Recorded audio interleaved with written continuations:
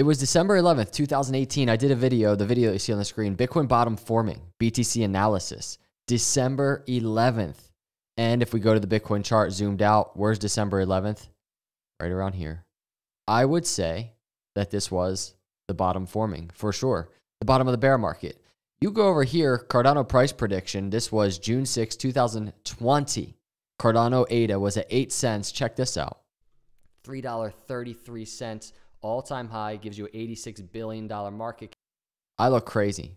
I look crazy. Cardano ADA sitting at 8 cents, and I'm talking about a plus, a $3 plus ADA.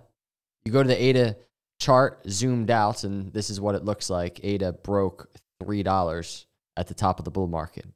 I am not saying this or showing this to pat myself on the back at all, but I'm talking about an $11 ADA in this video, and currently ADA is 56 cents.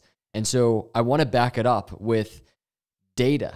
Now, those video clips that you saw, those videos that I did, the, the, the journey that I've been tracking in crypto, it's all based on data. There's nothing special about me. So everything in this video is nothing having to do with me or just a, a wild, just out of left field guess. It's all based on the same exact data. It is nothing more. This is just unemotional technical analysis as it kind of integrates into this longer term growth story of these early stage assets, because that's where we are. It's a volatile journey. The only thing that we could possibly use that is somewhat reliable is data. So, everybody, let's jump into the video and talk about an $11 Cardano, because in my opinion, as I've discussed already in previous videos, it is so realistic. And in this video, I truly do want to explain why. So please hit the subscribe. If you're a subscriber or you're a new subscriber, turn notifications on. Get these videos when they come out, especially some maybe Bitcoin spot ETF breaking news on the horizon. I appreciate all of your support. So I, I tweeted earlier. I said, and there were I was going through the comments there, but I tweeted earlier. I just said $11 Cardano is very realistic figure for bull market high based on new data I just discovered. Video later explaining why, and this is the video. I want to go and I just want to point something out on the ADA weekly chart. This is what the weekly chart looks like. We are here once again, just tracking the, the pre bull market vibes of ADA. Now, in previous video, I discussed this whole concept. If ADA can reach a 4% dominance in the coming cycle, because this is what ADA has done in previous cycles. It's touched around 4% dominance. If it can hit 4% dominance in this next bull cycle at a $10 trillion market cap, if we go to look at total market cap of crypto, it's pretty easy to visualize with the trillions of dollars that are getting ready to come into crypto, institutions, retail, pretty easy to visualize kind of a, the next bull market for, for total crypto market cap. We can just kind of look at it potentially, right? This is give or take what it could look like. Very speculative to use a bars pattern to do that. But $10 trillion market cap next bull, next bull cycle. 4% for ADA, and this is what we discussed $400 billion market cap. That's that number. Now, here's what's so interesting that's the $11 number.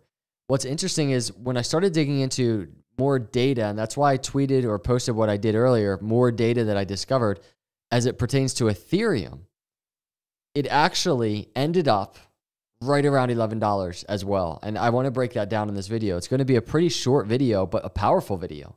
So we know the market dominance, 4% story for ADA, the potential there. What I've said also in regards to the, four, the 400 billion is okay, Ethereum in its first DeFi bull market hit over $500 billion market cap. I've been saying, you know, 400 billion is is I think realistic because there's a good possibility Cardano doesn't repeat what what Ethereum did in terms of market share and, and just the value, right? So let's let's undershoot the 500 plus billion dollars. That 4%, 400 billion dollar market cap, $11 ADA realistic. But I dug deeper into Ethereum data data. Check this out. So this was Ethereum's first bull market cycle, right? This is the cycle that ADA is getting ready to enter for, for itself. And this is an Ethereum chart, but this is what Ethereum did.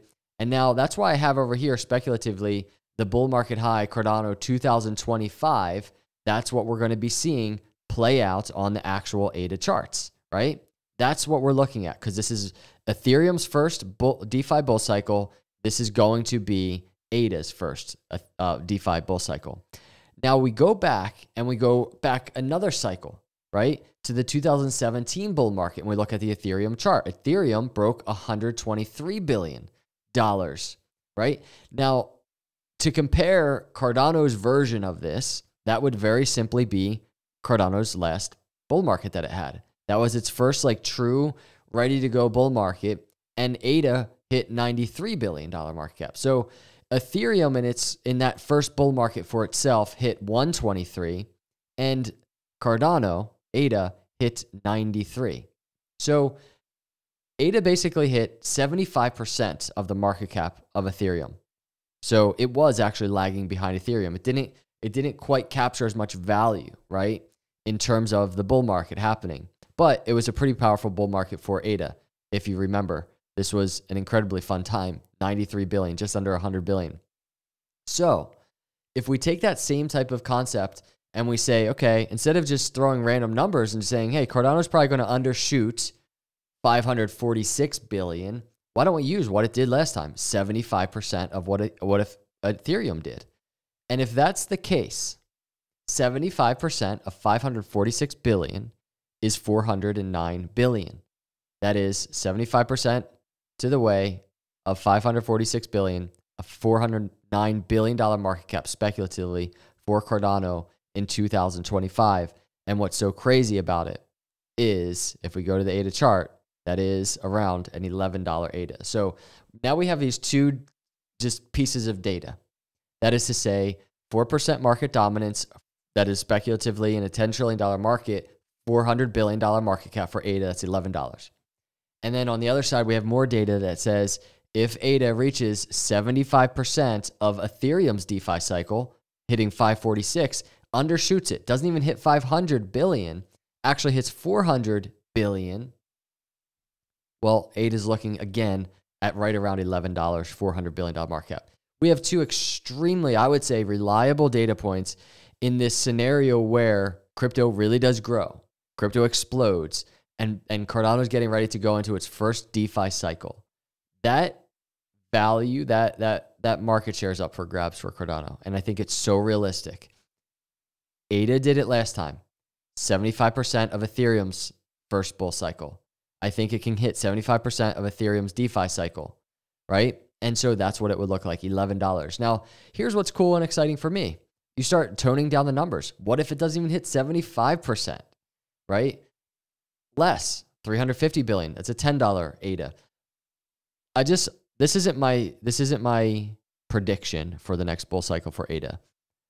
But if ADA did half of that and only did 200 billion dollars, meaning it only basically surpasses its previous all-time high by 100 billion, it's still looking at like $5.50 all-time high for ADA.